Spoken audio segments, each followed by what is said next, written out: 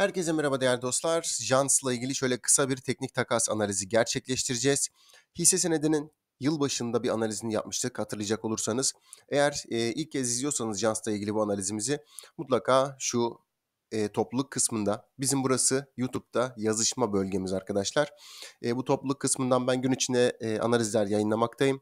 Piyasanın böyle çok dalgalı olduğu zamanlarda bu sayfayı kontrol edebilirsiniz. Sizin için yayın yapmaya devam ediyorum çünkü. Şimdi Jans'la ilgili 2023 yılında çok önemli beklentiler söz konusu. Çünkü şirket 32 milyon dolarlık bir yatırımı yıl sonunda bitirmiş olacak. Bu ne demek? Şirket yapmış olduğu şu anki mevcut fabrika yatırımlarını yaklaşık %50 oranında kapasite artışına gitmişti.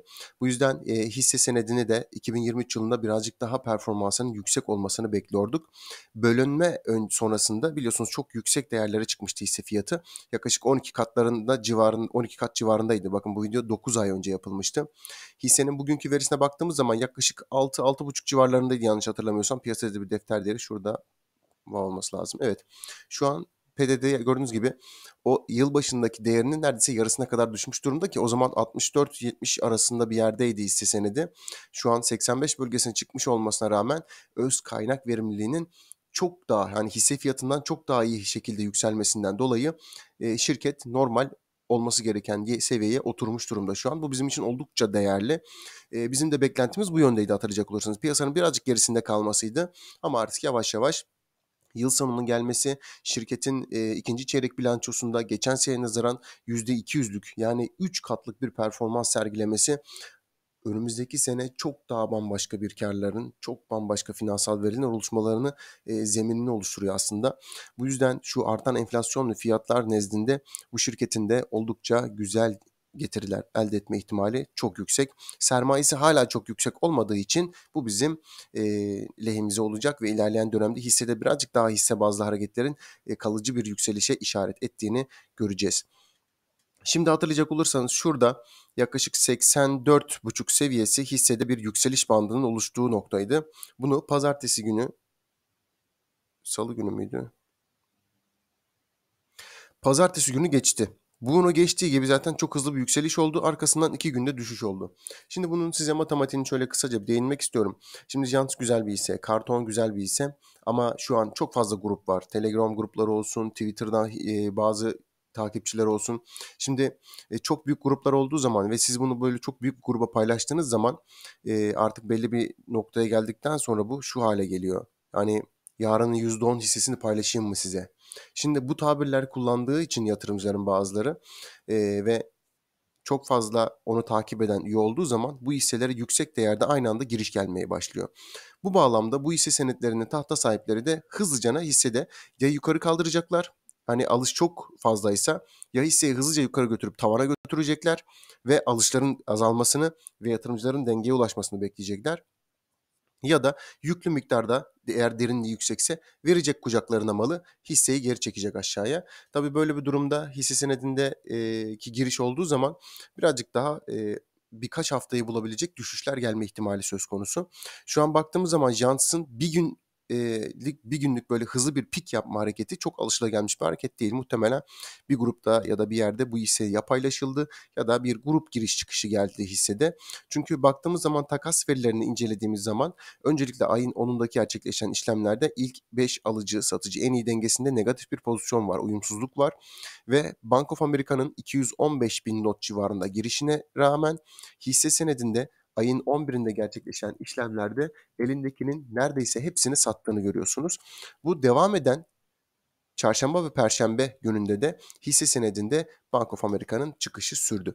Yani hissede kısa süreli bu pik hareketi her gün şurada görmüş olduğunuz ilk 5 alıcı satış dengesinin pozitif olmadan hissenin e, yukarı tırmanmasına e, e, açıklayamadığımız bir ortam oluşturdu. Bu yüzden bu şekilde bir konuşma yaptım şu an. Ama hisse senedinde tabii uzun vadede beklentilerimiz oldukça güzel. İkinci çeyrek bilançosunda Ciro'da geçen seneye nazaran %200'lük bir artış vardı. Net borç 310 milyon civarında ve öz kaynakta verimlilik de %175 seviyesinde gerçekleşti. Yani bir önceki senenin 6 aylığına kıyasla. Yani bu şirketin önümüzdeki 6 aylık dönemde yani 2023 yılının 6 aylık döneminde kapasitesini %50 arttırmış bir vaziyetteki büyümesini birazcık daha mantıklı düşünerek tahmin edebilirsiniz sanırım. Hisseyi uzun vadede artık beğenmeye başladığım bir noktaya geldiğini düşünüyorum. Şimdi hisse senetlerinde e, takaslarında şöyle kısaca değinmek istiyorum. Diğerlerine de değinelim. Hissenin haftalıklarında emeklilik fonu. Hatırlayacak olursanız bu hisse bölünmeden önce de emeklilik fonu çok işlem yapıyordu bu tahtada. Baktığımız zaman 250 bin notluk çıkışı var ve ha, e, haftalıkta gerçekleşen lot miktarı bu. Diğer taraftan e, hisse senedinde halk yatırım biliyorsunuz halk yatırımdaki çıkış vardı ya. İşte o halk yatırımdaki çıkış işte bu. Hani şurada aracı kurumlarda göstermiştim ya pazartesi günü hissenin pik yaptığı gün Şuradaki gördüğünüz rakam var ya 228 bin not halk yatırım üzerinden çıkış bu aracı kurum dağılımı. Net takaslara geçtiğimizde bunu emeklilik fonu olarak görüyoruz. Şöyle göstereyim isterseniz haftalıkta çünkü başka blok şeklinde çıkış olmadı. Emeklilik fonunun gördüğünüz gibi 253 bin not civarında çıkışı var. Yani bu e, hisse senedinde son 3 ay içerisinde emeklilik fonu neredeyse 3 e, 489 bin not toplamda son 3 ayda çıkışı olmuştu. Bunun 253 binini Şurada göstereyim. Gördüğünüz gibi son 3 aylıkta hisse senedinde emeklilik fonu yaklaşık 489 bin lot çıkış gerçekleştirdi. Bu genel itibariyle ilk ana kurumlar tarafından karşılandı. Yani ilk 5, 10 ve 15 kurum en iyi işlem yapan hissede kurumlar arasında paylaşıldı. Yani piyasaya böyle hisseyi böyle basma hareketi söz konusu değildi. E, ve bunun büyük bir çoğunluğu bu haftanın çıkmış olması hissenin bu fiyatlardan emeklilik fonu yani halk yatırım hesaplarından bu bölgeden ayrılmaya devam etme ihtimalini göz önünde bulundurmamızı gerektiriyor. Kısa vadede bizim için tabii bu verilerin ışığında e, uzun vadede karın çok yüksek olacağını da biliyorsunuz, anlayabiliyorsunuz sanırım. Kısa vadedeki önemli direnç ve destek noktalarını şöyle bir değerlendirelim isterseniz ve hisse senedinde e, önümüzdeki dönemdeki pozisyonlarımızı değerlendirirken bu kademelere göre işlem yapmaya çalışalım. Size en büyük tavsiyem önümüzdeki yıl resesyon senesi. Türkiye'de resesyon olmayacak ama tabii dış piyasanın da çok dışında kalmayacak. Mutlaka belirli bölgelerde gene Şubat Mart döneminde bir düzeltme işlemi gelebilir ama son çeyrekte dünya çapında çok büyük önemli e, yatırım danışmanları olsun, çok büyük raporlar hazırlayan büyük bankalar olsun beklentileri son çeyreğin iyi geçeceği yönünde. Yani e, ABD tarafında piyasalarda bir rally olacağı ile ilgili. Bu yüzden e, bunları da göz önünde bulundurmaya çalışın. Böyle bir etkide Türkiye piyasasının daha pozitif ayrışmasını bekliyor olacağız. Ve hisse senetlerinde şunu e, yapmayın hata, en büyük hata bu olacak. Yatırımcıların kısa vadede çok büyük beklentili olan senetlerde kısa vadede ayrılmaları onlar için çok kötü olacak. Kısa vadede her hisseden kar almaya çalışan yatırımcılar büyük bir e, hataya sürüklenmiş olacak. Bu yüzden bazı hisselerdeki pozisyonlarınızı birazcık uzun vadede tutmaya çalışın ki hissenin tam verimini almaya çalışın ve bilin. Şimdi hisse senedimizde yaklaşık 85 bölgesi bizim gördüğünüz gibi şu kırmızı çizgi destek pozisyonunda. Ve bu kırmızı çizginin üzerinde ikinci günlük kapanış yaptı ve bizim için burası artık bir önemli bir destek seviyesi oluşturdu. Yurt dışı piyasalarda şu dakikalardaki görüntü yarın sabahta devam ederse gördüğünüz gibi yüzde iki buçuk seviyelerine kadar çıkmış durumda ABD piyasaları ve bizim bu enflasyon verisi geldiğinde eksi ikileri görmüştü. Bizim piyasamızda biraz dalgalasa da artık kapattık biz. Yani piyasalarda şu an yurt dışı piyasalarda tam bilanço dönemi başladı. E, ayrıyetten bugün özellikle hem bankalar hem enerji şirketleri e, ve hem sanayi şirketlerinde teknoloji özellikli şirketlerinde önemli yükselişler var şu an ABD piyasalarında. Bu da e, aslında bu karı silip eksiye geçme ihtimalini oldukça düşürüyor bence.